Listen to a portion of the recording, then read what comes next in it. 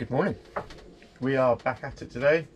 Uh, I was about to do a bit of a dirty on you and just crack on, but no, pick up the camera, let everyone know. This bit of ply is going to be for this cabinet that I'm, sorry, this cabinet that I'm putting across here. Uh, just trying to wrap my head around it. I've put this back in, well it's not in in, but I'm putting this back in just because I think it would be handy for inside the camper. You can put your drinks and I don't know, maybe your phone or something to charge overnight. So I'm going to put that back in and so what I've done with this square is basically gone up to this point just so I'm not interfering with the cup holder or anything like that. So that's where I'm gauging where this cabinet's going to come to. Um, and I put this trim in as well and it was bang on on here so I've gone from there up to that square and that's my size. So now I'm just going to put this sheet in and try and scribe it around everything which is going to be a lot of back and forward back and forward. Cool. Right. Time. Lapse time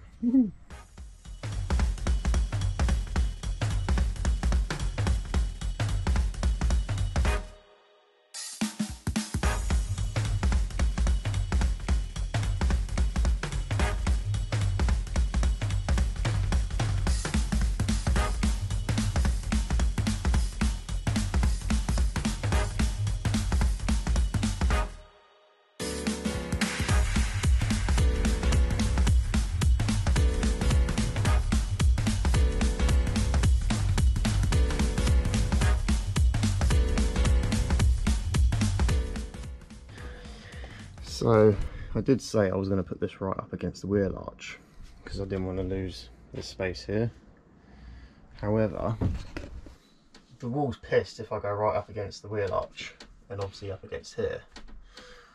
I could shorten this down because obviously the wall goes, dips in, so eventually it would become level.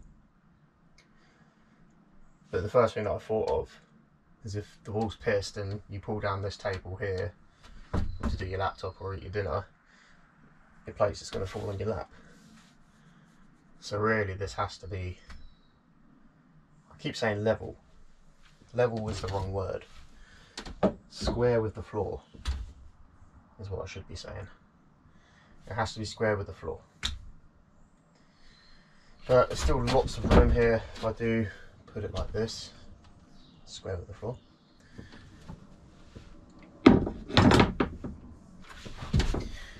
Don't hate it, obviously put more storage in there. So just to recap, I was going to put a fold down door here, so you've got storage inside, one underneath it, because you'd have storage before the whip, or sitting on the wheel arch and coming up, you'll have a bit of storage. I might sketch it out now, and then I'll probably have a better idea.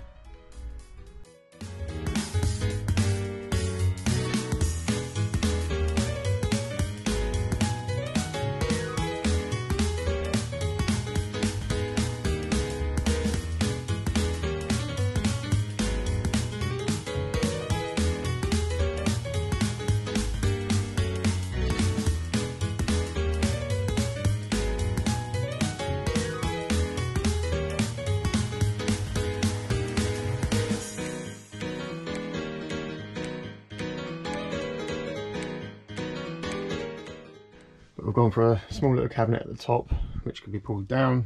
You've got a nice desk.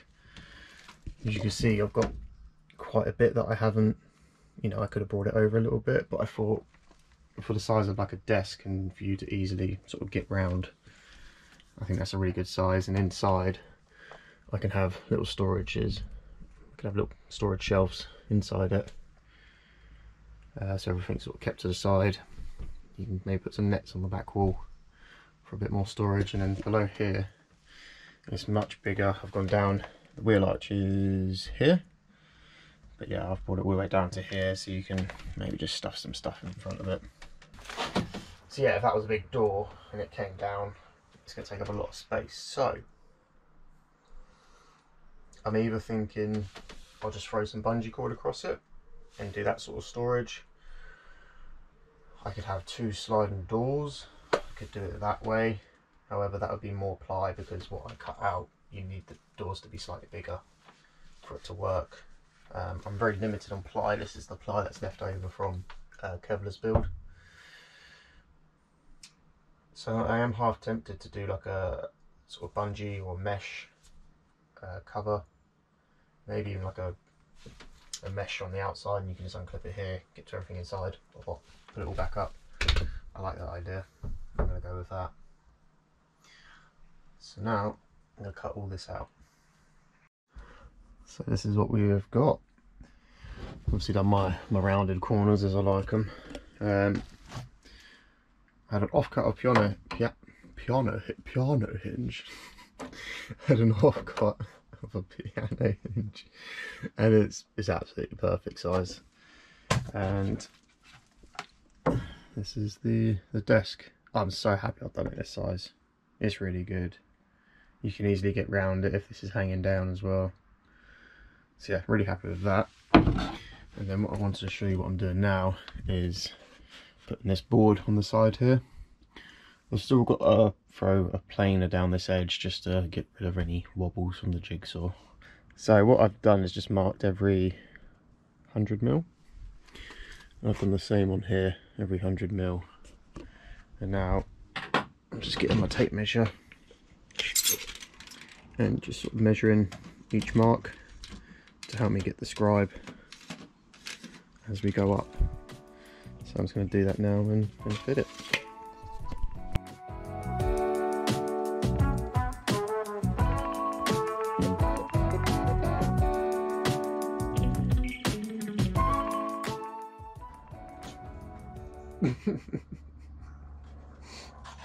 Look at what I've created. That's amazing. See if she fits. It's not going to fit first time, it? Empty barshed.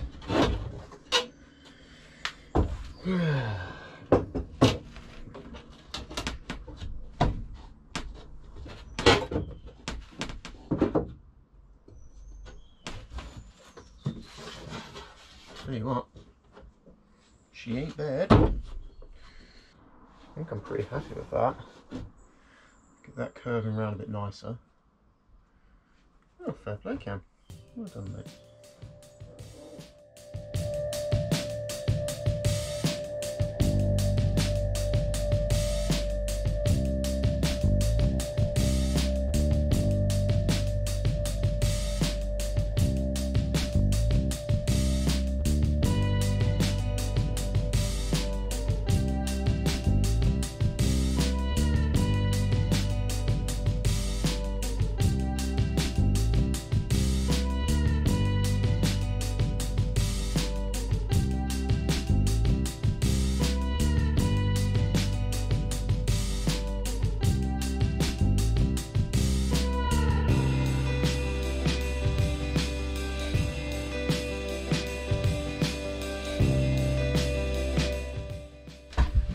Have done this side, it's all scribed in.